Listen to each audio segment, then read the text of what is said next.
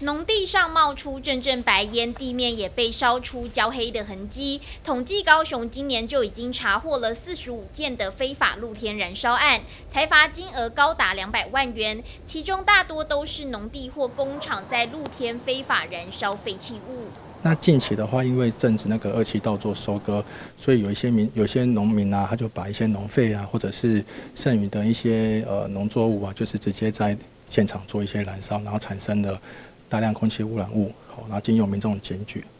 一片雾茫茫，高雄每到秋冬季节就容易出现空品问题，而每到秋收时节，部分民众透过露天燃烧处理废弃物，更是让空气品质进一步恶化。然后露天燃烧会产生大量的粒状物，那粒状物就是所谓的有 PM 二点五，哦，那这个就是会影响空气品质，哦，所以这边还是要呼吁呃民众啊，就是在呃在秋。特别是在秋冬空品不良期间，尽量避免露天燃烧。每年的十月到隔年三月属于空气品质不良的季节，一旦查获露天燃烧，将依法加重开罚。另外，环保局近期也透过搭载热显像仪的无人空拍加强巡查。因为我们目前有发现很多农民就是可能在夜间。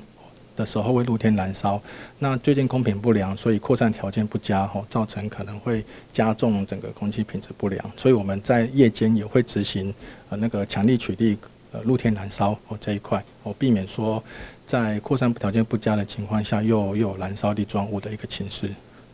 高雄秋冬的空污问题困扰在地居民已久，要减少污染源，有赖民众妥善处理个人的废弃物，共同把关空气品质。记者邱玉婷、苏玉文高雄报道。